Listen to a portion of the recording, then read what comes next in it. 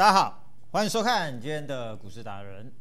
那明天就是中秋节的假日哦，所以在节目的一开始，先预祝大家啊中秋节愉快。那因为中秋节毕竟是华人的很重要的呃三大节日，所以很多在外地工作的朋友们可能都要回啊家去啊过一下这个中秋节。而且现在中秋节就是大家都要烤肉。哦，所以希望大家就说可以有一个非常愉快的周末，哦，那呃假日哦，同时烤肉都可以这个吃的非常的开心，哦，吃的非常开心。我先预祝大家中秋节快乐。好，那因为要放假，啊，所以台股量当然就不大了。昨天不到千亿，那今天稍微增加到一千零六十八亿，指数没有什么太大的变化，哦，这个呃小涨了四点。那我想呃应该就符合我在呃上个周末啊所提的。中秋节啊，中秋节，哦，那啊，它会变盘哦，中秋节会变盘，那变的不是指数的方向，是新主流哦，新主流会冒出头来，会接棒演出，哦，那啊，新主流不会再是所谓的瓶盖股，当然瓶盖股它还有像康控，我认为很有机会之外，但大部分的瓶盖股哦，它应该会让出主流的地位哦，它可以让出来的成交量跟成交值哦，那个是。非常大的一个这个金额跟空间，可以让很多的次族群啊、小族群的股票它可以涨翻天。所以中秋节就是明天，那它是一个变盘的一个过程啊，它是个变盘的转折点。新的主流它会开始冒出头来。那过去是外资主导，再来是本土资金为王。哦，所以呢，哦，那新主流的方向，我想我也提出了几个重点，大概三足鼎立。一个啊叫做电动车，一个叫做 AI 的哦，像四星最近狂飙，哦，那电动车的部分啊，电池又是电动车里面最重要的零组件，哦，那四七二一的美骑马啊，今天也是呃顺利拉出涨停板，哦，那 AI 的四星，AI 四星，哦，那今天尾盘又拉尾盘，又收在最高点一百零九元，那光学股。整理了大概一个多月，啊，今天似乎也看到转强的迹象，所以早上呢，我们让会员哦再度的再度的进场买回当初哦操作过的亚光，啊，那买完之后呢，拉一度拉上涨停板，尾盘收在一百二十五块，也是现买现赚，现买现涨停，哦，所以呢中秋变盘，它变的是主流股的一个不一样，好，那指数仍然是多头。但是目前现阶段的指数空间应该不大，应该不大。但是中秋过后，那当然中秋过后剩两天又要放假，所以最有可能的是在十月的双十连假之后，哇，这个主流股可能就要正式进入一个强力飙涨的主升段。那三大主流，一个叫光学，又开始复活；一个是电动车里面的电池族群；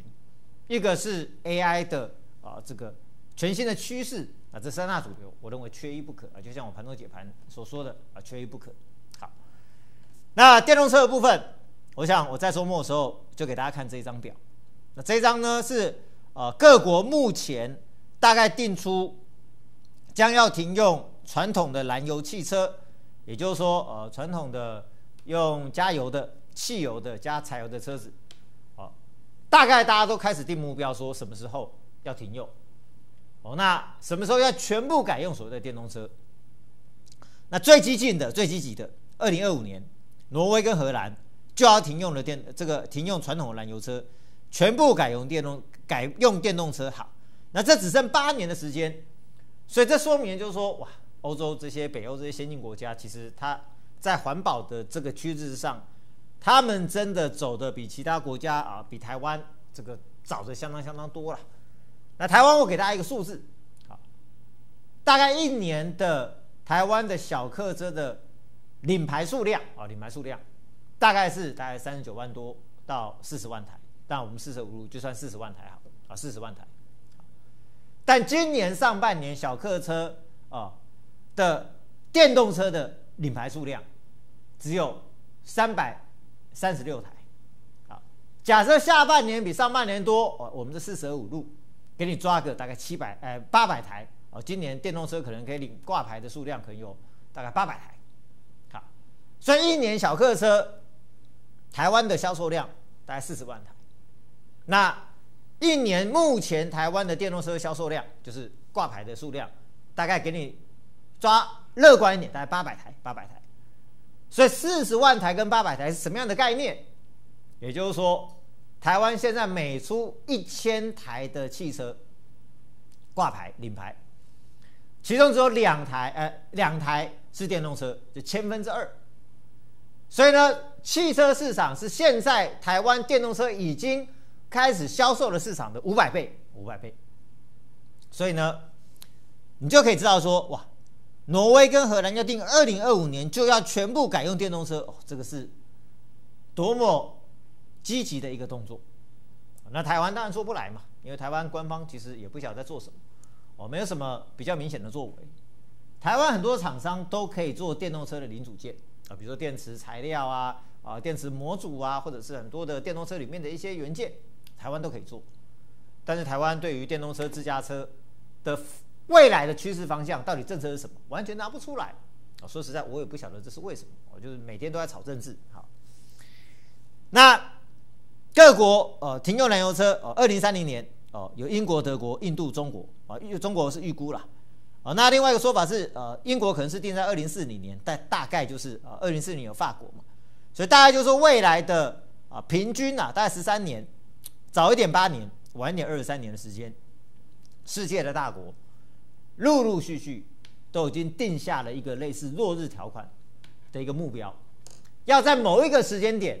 停用传统燃油车。准备全部用电动车，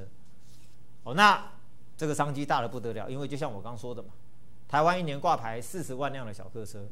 啊，现在一年只有里面只有八百台是电动车，也就是说，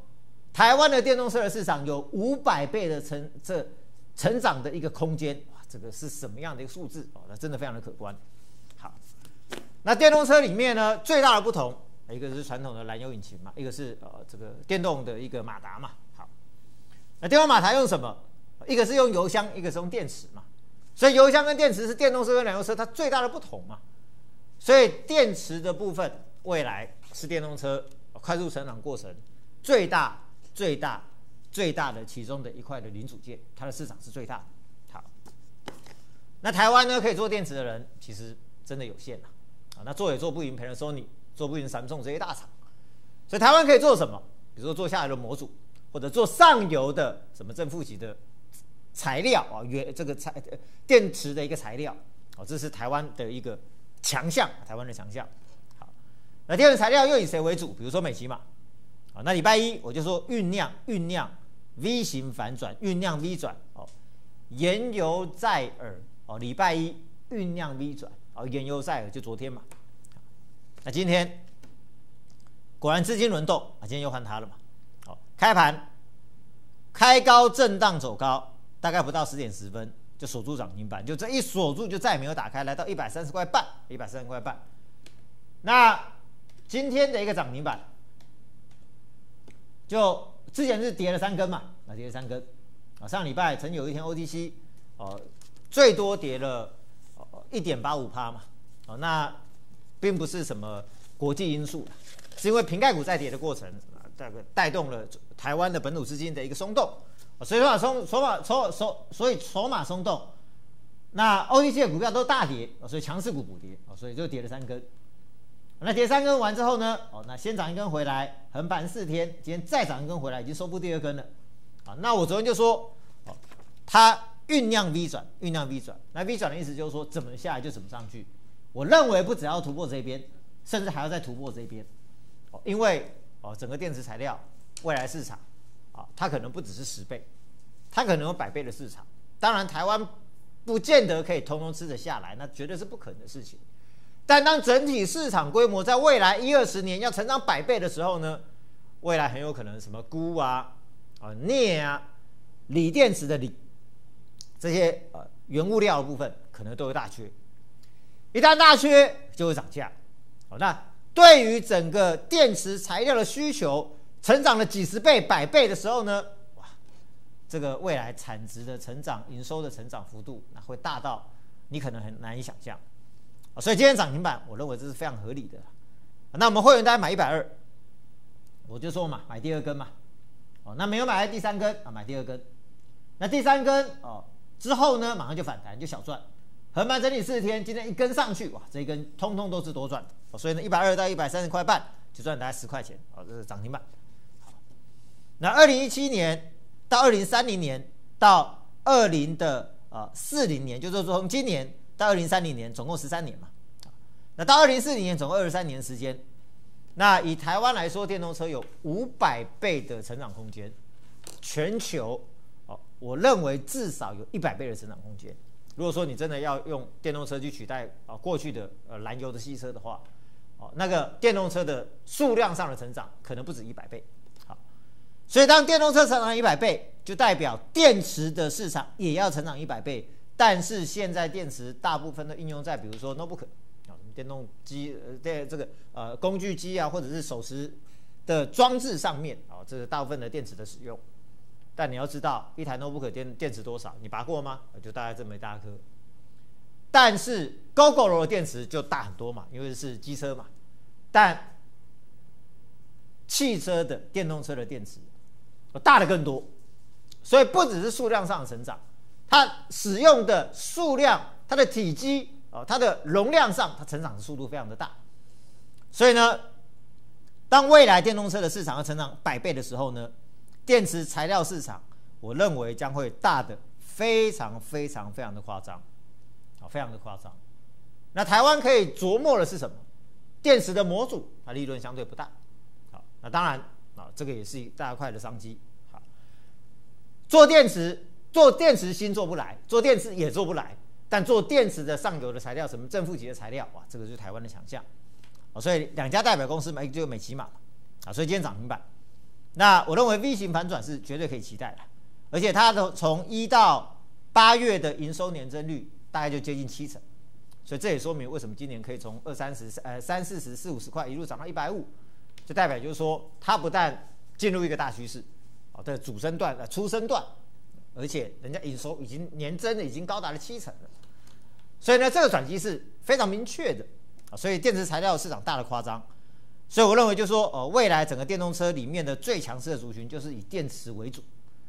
那电池里面最强势的族群就是上游的材料股，哦，那美骑马跟康普当然就是其中的佼佼者，佼佼者，所以呃 V 型反转可期，所以会员呢啊买在一百二，到今天一百三十块半。啊，目前小赚大概十块半，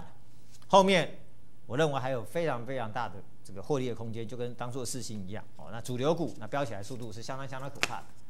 好，那再来康普的部分，今天也是一样，尾盘一度亮灯涨停板，来到一三三哦。那这个一三三呢，刚好就是前波高点一三三，所以就说这一波拉回的过程，美起码还没到高点，但是它已经领先来到了前波高点哦，所以说这也算是一种 V 型反转了哦，强势的平波段的一新高点。那为什么今年它的涨幅相对是比较落后这个美骑马？就是因为哦，它之前新产能一直没到位，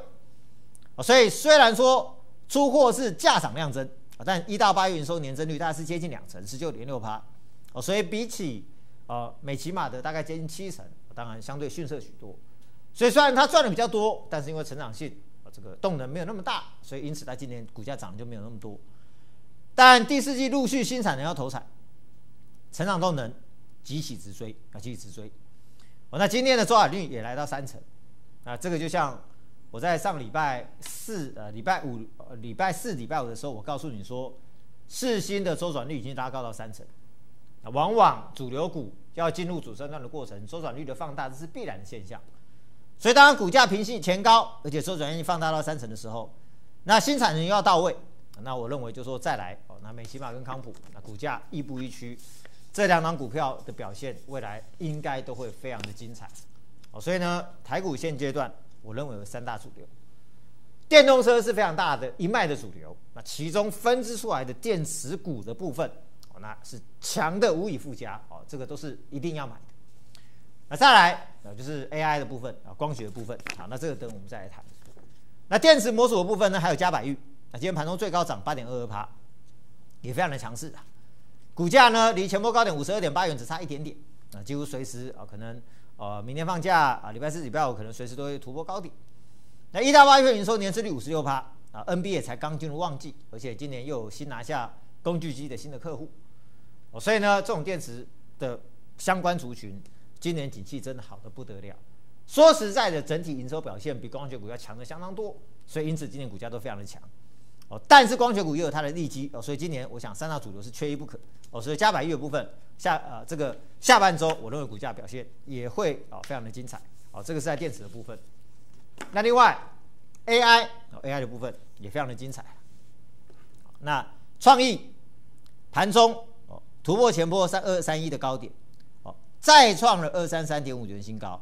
所以这波因为比特币的利空打到一百七十几块哦，没有想到不到两个礼拜。咚咚咚咚弹上来之后，又再度突破高点，那又成成功的营造了一次的 V 型的反转，哇，这是真的非常的强势。但是这一次它强也强不过四新的强哦，四新的强。那因为创意呢，第三季推估大概赚一块到一块二，今年大概赚五块多了，五块多了，所以本益比已经高达到四十到四十五倍哦，那。我非常乐观的看待说，创意你最好继续飙，飙到两百五，飙到两百六，飙到三百，飙到四百，我都乐观其成。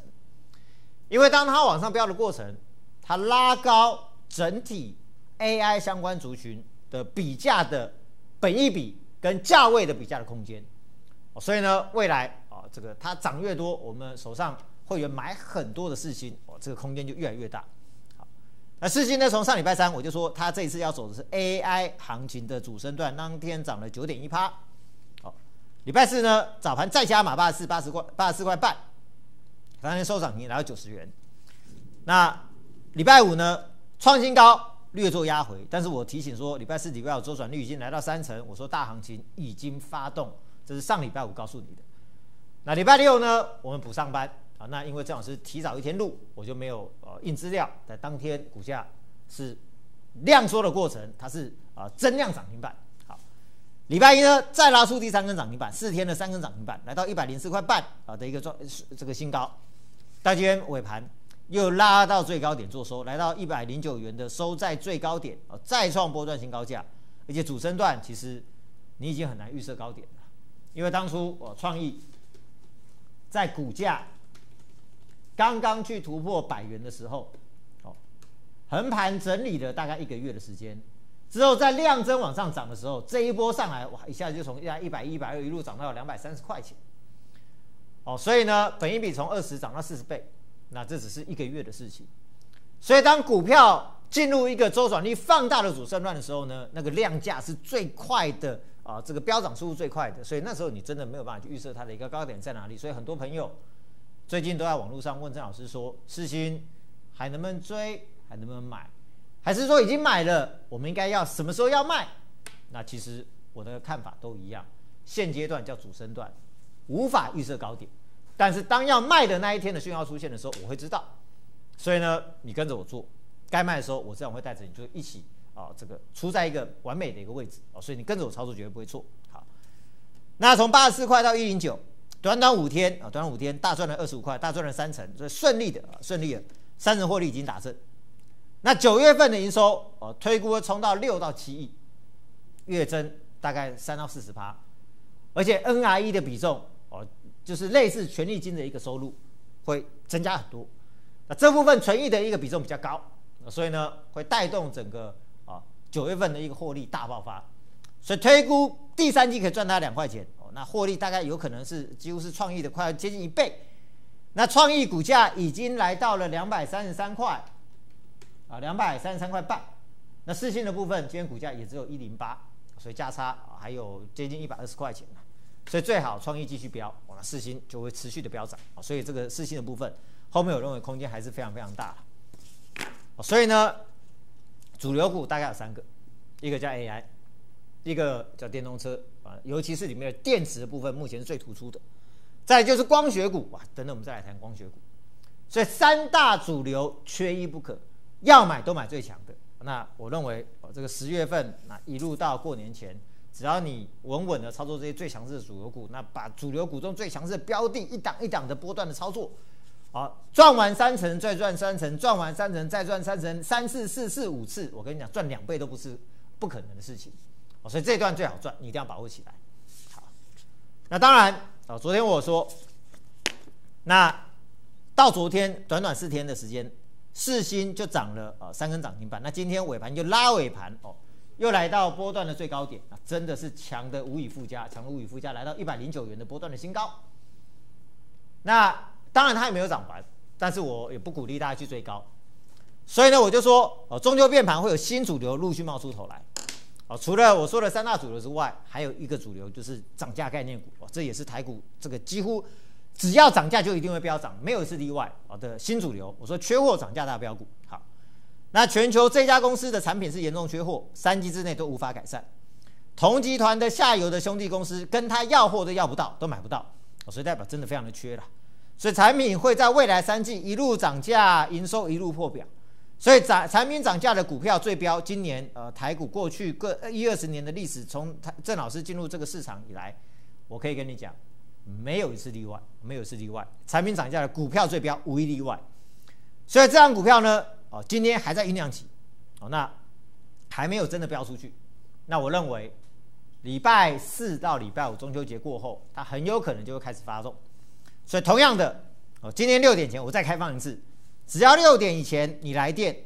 那留下你的电话，我就让你体验这一档缺货涨价的大标股。再强调一次，今天六点之前，因为六点之后大家要考肉嘛，所以你要赶在六点之前啊，你来来电，我就让你体验这一档即将大涨大标的缺货涨价的大标股，把握机会，等会儿再聊其他的股票。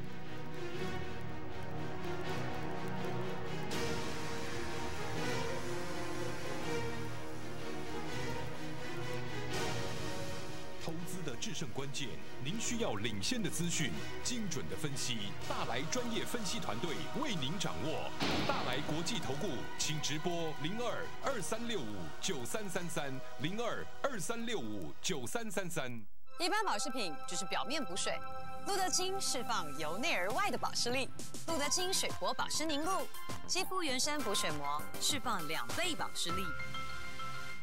持久水嫩透亮。路德清。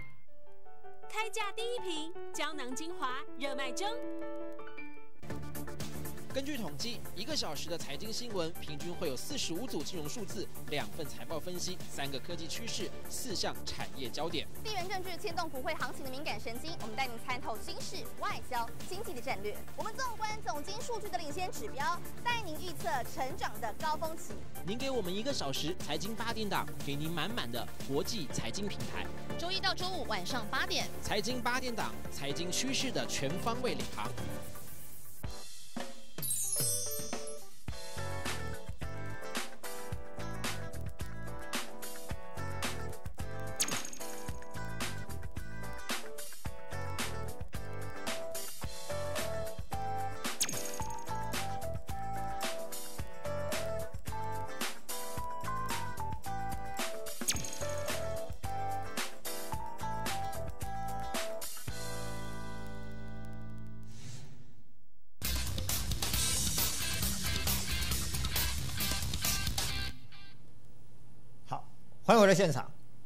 台股现阶段最强势三大主流：光学、AI 跟电池股。我想这三大主流缺一不可啊，缺一不可。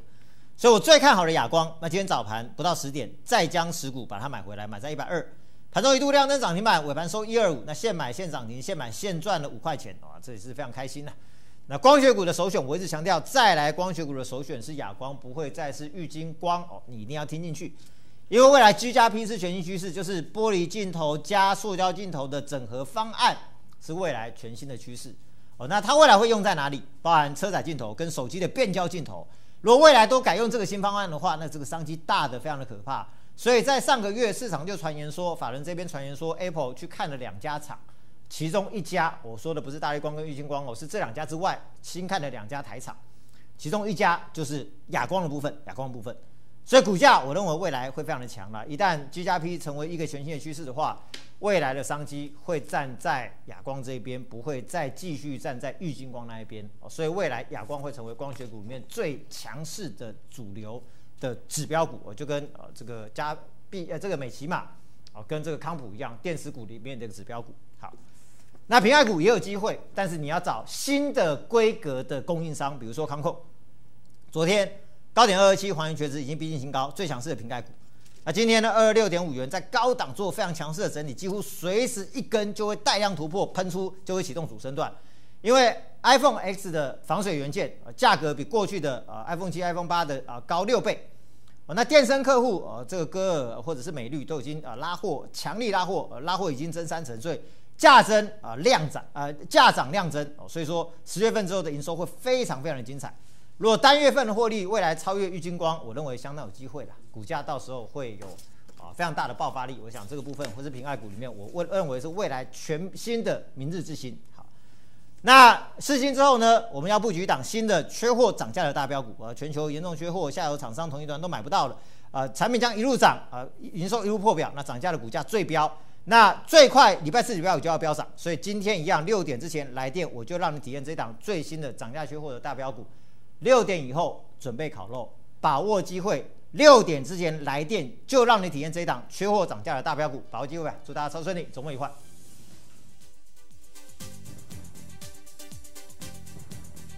本公司与所推介分析之个别有价证券无不当之财务利益关系。本节目资料仅供参考，投资人应独立判断、审慎评估，并自负投资风险。